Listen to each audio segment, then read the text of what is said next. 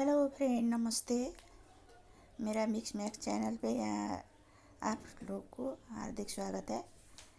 मैं आज baby sweater के पार्ट टू बना रही हूँ। ये मैंने जो बटन पट्टी में जो आठ आठ फंदे थे, सोलह फंदे, वो सोलह फंदे प्लस जो गले के लिए गुलाई ली थी, उस पे करके मैंने फंदा उठा रही हूँ। फंदा मैंने उठाया है। बड़े लोगों के वो तो ज़्यादा फंदे चाहिए बच्चे के लिए तो जितना भी चैन थे उतने ही उठाई हूँ मैं। वही काफ़ी होगा। मैंने बुनने के बाद आपको दिखाई हूँ। आपको और कुछ करना नहीं था, वो बस बॉर्डर बुनना था, फंदे बढ़ाने के बाद। और ऊपर जो जो नीला डिज़ाइन डाला है, वही डालना था तो इसलिए मैंने आपको दिखाई नहीं। अब हमें बाजू बनाना है। बाजू के लिए हम सीधा साइड से फंदे उठाएँगे। सीधा साइड है। ऐसे। सीधा साइड से हम फंदे उठाएँगे।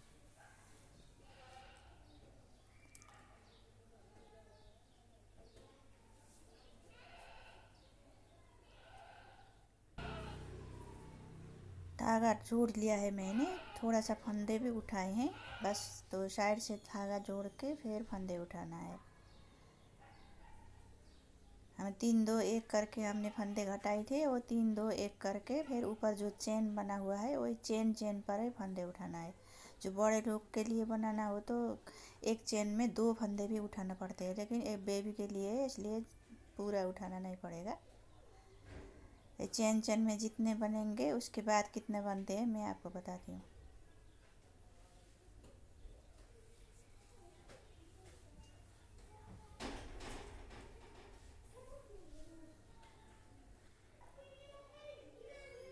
फंदे उठा के लास्ट लास्ट में पहुँच गया है। दोनों साइड फंदे उठाई हूँ। मैं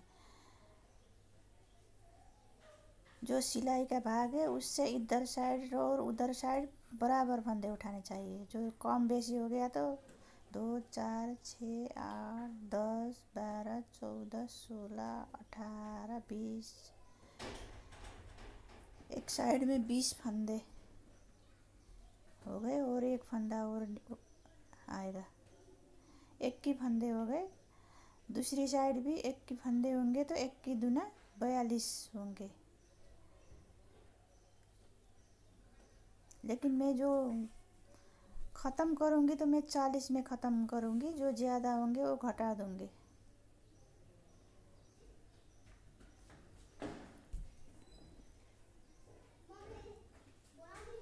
तो मैं टोटल फंदे कितने हैं काउंट करती हूँ? वैसे बराबर होना चाहिए। एक एक फंदा इधर उधर हो गया तो हम घटा देंगे।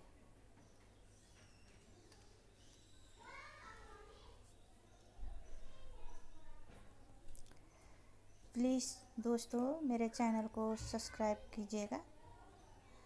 और अच्छा लगा वीडियो तो लाइक कीजिएगा, शेयर कीजिएगा और कोई सुझाव हो तो कमेंट कीजिएगा प्लीज़।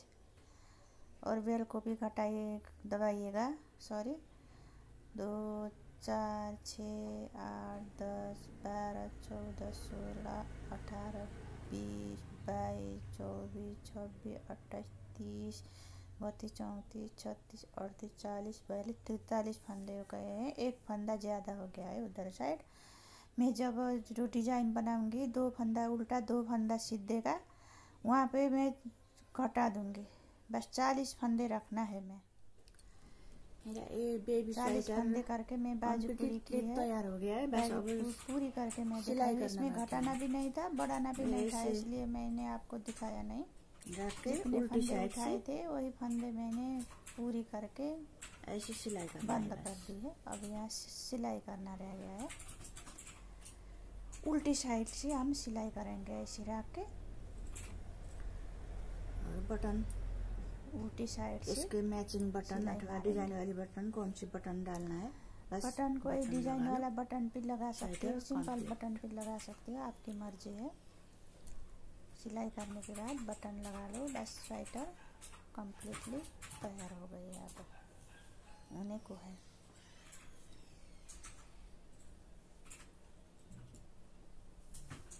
यहाँ से ऐसे चाहे उधर साइड से सिला लो चाहे बाजू से सिला लो बस। कैसे भी शुरू करके एक ही बार यहाँ से सिला सिलाई के करके यहाँ आके खत्म हो जाएगा। यहाँ से शुरू करोगे तो यहाँ आके खत्म हो जाएगा। कोई मुश्किल नहीं है। डिज़ाइन भी अच्छा बनेगा। बुनना भी आसान है, सुंदर भी दिखेगा। आप भी अपने बेबी के लिए बना सकते हो।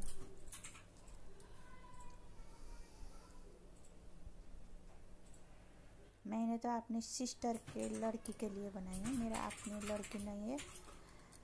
और के लड़की बहुत पसंद है मेरे को।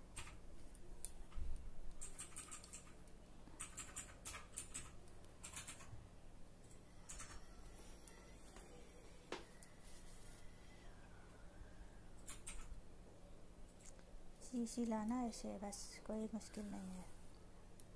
ये जो धागा है इसको बीच में लगा के सिलाई मारेंगे तो फिनिशिंग आएगा।